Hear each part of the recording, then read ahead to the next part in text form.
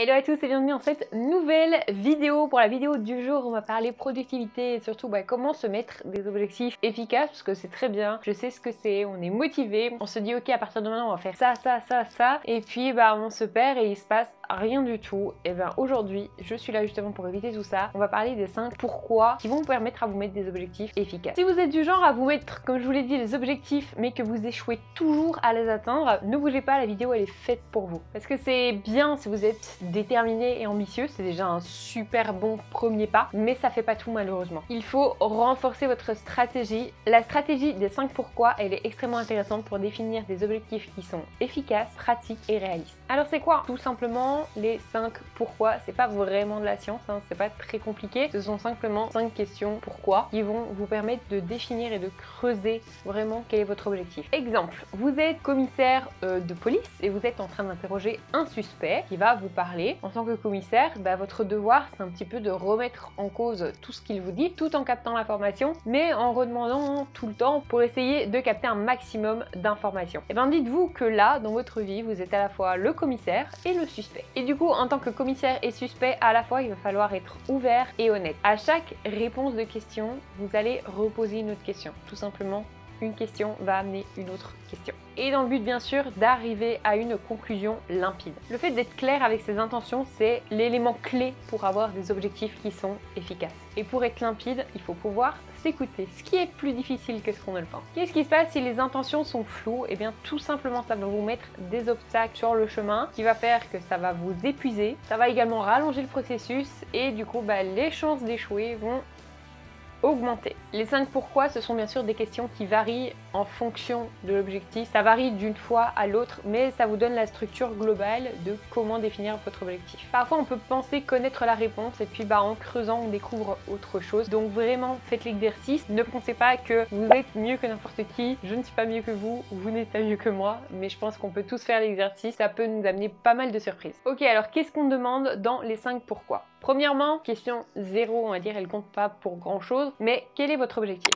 N'hésitez pas à écrire en même temps, prendre des notes, je pense que ça peut être pas mal de faire l'exercice en même temps, même si ça vous prendra plus de temps, vous pouvez mettre pause, réfléchir, écrire, n'hésitez pas. Quel est votre objectif? Donc écrivez votre objectif. Pourquoi numéro 1 Pourquoi avoir choisi cet objectif? Là Est-ce que c'est pour la stabilité financière? Est-ce que c'est pour la paix mentale? Est-ce que c'est pour un passe-temps? Je ne sais pas quel est votre objectif, mais voilà, réfléchissez pourquoi vous choisissez cet objectif-là. Deuxième pourquoi, on va remettre en question son importance? Pourquoi avoir choisi cet objectif-là? Parce qu'il y a peut-être d'autres manières d'atteindre l'objectif. Par exemple, si à la question précédente vous avez mis que vous cherchez un passe-temps, le passe-temps il peut passer au travers de la peinture, la photo, la sculpture, le dessin, peu importe. Alors pourquoi par exemple vous auriez choisi la peinture plutôt que le Le troisième pourquoi, pourquoi sentez-vous que cet objectif sera une valeur sûre pour améliorer votre vie actuelle? Quatrième pourquoi, pourquoi ne pouvez-vous pas atteindre ce que vous voulez sans cet objectif-là? Pourquoi cet objectif va rendre votre vie plus complète ou en tout cas combler un vide? Et le cinquième, pourquoi cet objectif vous fera sentir mieux?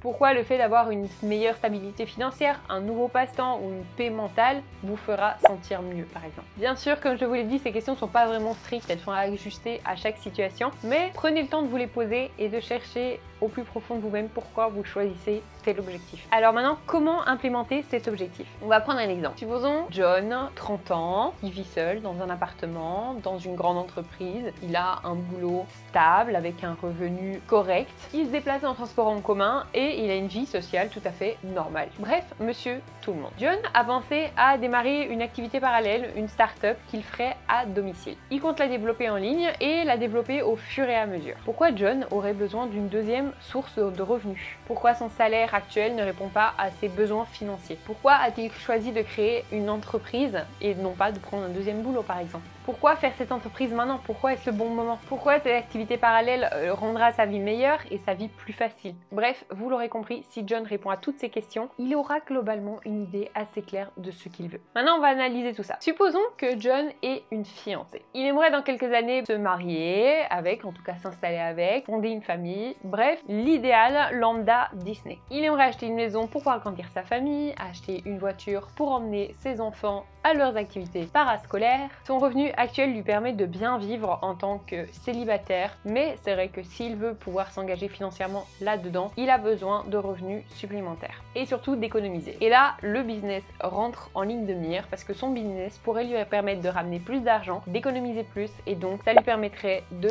s'installer avec sa chérie, s'acheter sa voiture, s'acheter sa maison payer un grand mariage s'il en a envie. Bref, se payer ce dont il rêve. Et puis John est comme vous et moi, il a vécu aussi la quarantaine et il se qu'est-ce qui se passerait si demain j'étais en licenciement économique et que je perdais mon job John est prévoyant. John anticipe tout ça et John a décidé donc de monter sa société. En fait, en répondant à toutes ces questions, bah, John il peut définir un plan beaucoup plus détaillé de ce qu'il veut. Une fois qu'on a les 5 pourquoi, on va pouvoir les transformer en plan défini. C'est pour ça que dans un premier temps, il faut écrire vos 5 pourquoi. N'hésitez pas, vous faites un livre, un ce que vous voulez, mais vous écrivez un maximum d'informations. Faut pas juste les avoir en tête parce que ça suffira pas. Et puis surtout, bah, avoir les réponses et un peu plus de clarté, c'est super, mais ça suffira pas malheureusement. John, il a besoin d'argent, non pas aujourd'hui dans l'urgence. Il a pas un roi de la mafia qui lui réclame 50 000 euros, pas du tout. Il a besoin de cet argent pour son futur. Donc c'est-à-dire qu'il a un petit peu de temps devant lui. Bien sûr, il peut lui arriver un malheur, mais pour autant, on va supposer que tout se passe bien. En tout cas, c'est comme ça qu'il le pense. Et il se dit qu'il aimerait bien avoir de l'argent, mais dans le futur,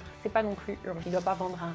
Et du coup, ça peut potentiellement prendre un petit peu de temps et il va falloir planifier sur du long terme. Dans un premier temps, en supposant qu'ils veulent vendre des objets en ligne, il va falloir créer un site. Ensuite, il va falloir trouver les matériaux, il va falloir trouver un entrepôt, il va falloir trouver le service de livraison, etc. Bref, du coup, John va devoir trouver du temps dans son temps habituel pour pouvoir développer tout ça. Et du coup, bah, John, il va pouvoir reprendre point par point tout ce dont il a besoin et pouvoir définir un plan structuré. Alors, vous imaginez bien que avec un plan comme ça, on s'en sort beaucoup mieux et on est déjà beaucoup plus clair par rapport à un ce qu'on veut, deux ce qu'il nous faut, trois comment arriver, que j'ai besoin d'argent. C'est un peu trop flou, on sait pas où on veut aller, alors que là, ben, notre petit gaillard, il sait exactement ce qu'il veut, pourquoi il le veut, pour quand il le veut, comment il le veut et ce qu'il doit faire pour le mettre en place. Du coup, bah, dès aujourd'hui, je vous invite fortement, quel que soit votre objectif principal, on commence avec un objectif, une chose à la fois, à faire bah, du coup ce travail, à reprendre les cinq questions, à les noter, prenez le temps de réfléchir, plonger dessus et après vous allez pouvoir beaucoup plus facilement définir un plan détaillé pour pouvoir atteindre cet objectif. En tout cas, c'est ce que je vous souhaite. Puis voilà, j'espère que ça vous sera utile. N'hésitez pas à me dire en commentaire quel est votre objectif principal. Faisons de rentrer dans les détails, je vous rassure. Si cette vidéo vous a plu, n'hésitez pas à mettre un pouce en l'air pour me dire que ça vous a plu. Et puis si vous voulez voir d'autres vidéos de développement personnel, d'astuces pour améliorer votre quotidien et tout ça, n'hésitez pas à vous abonner en cliquant juste en bas, en cliquer sur la cloche également pour ne manquer aucune vidéo. Et puis moi je vous dis à la semaine prochaine, jeudi 15h pour une nouvelle vidéo. Salut